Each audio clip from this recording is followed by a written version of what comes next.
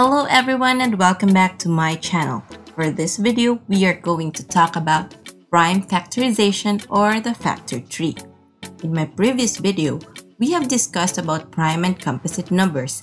If you haven't watched that video yet, please click the suggested video above. Remember, prime numbers are numbers that have only two factors, that is 1 and itself. Examples, we have 3. 3 is prime because it only has two factors, 1 and 3. 59 is also prime because it only has two factors, 1 and 59. And 97 is a prime number because it only has two factors, 1 and itself.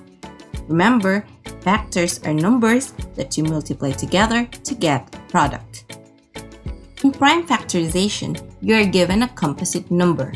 The thing you have to do is to factor out the composite number and you should end up with prime factors only. Remember there are four single-digit prime numbers that are 2, 3, 5, and 7. These are the most commonly used prime factors. Let's have an example. What are the prime factors of 16? 16 is a composite number, so we can factor that out. First, you think of two numbers that if you multiply together gives a 16.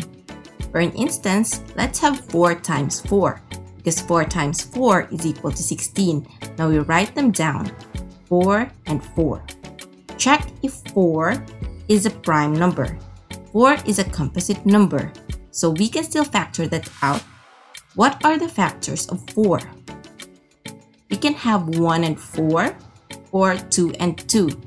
But remember, we should end up with prime numbers, and 1 is not a prime number. So let's have 2 multiplied by 2. And then we write them down. Finally, we check if the numbers are prime numbers and 2 is a prime number. So these are our prime factors. Let's write them down.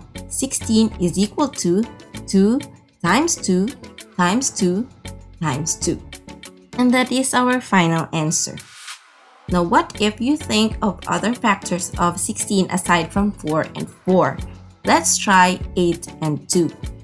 Write down 8 and 2. 2 is a prime number, so we end up there.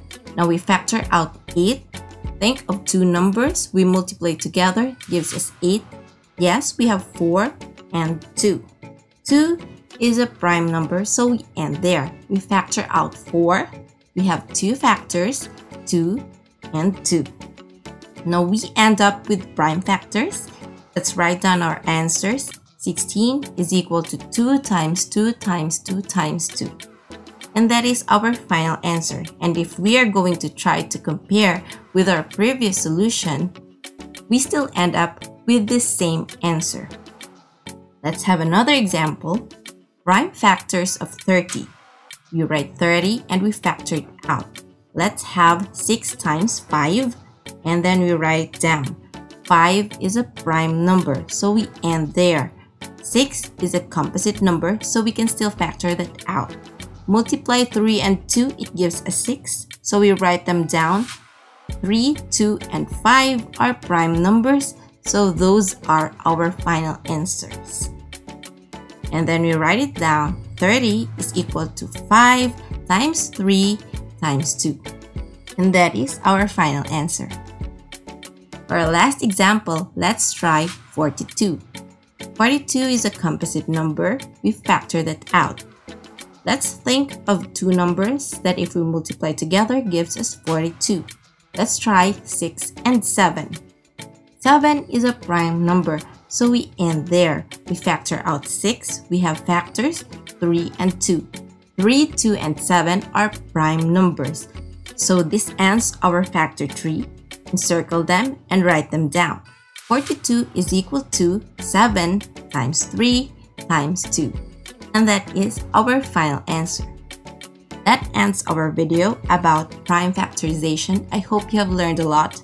In my next video, I am going to discuss about GCF and LCM. It is more like a series of short clips. Stay tuned and thank you for watching.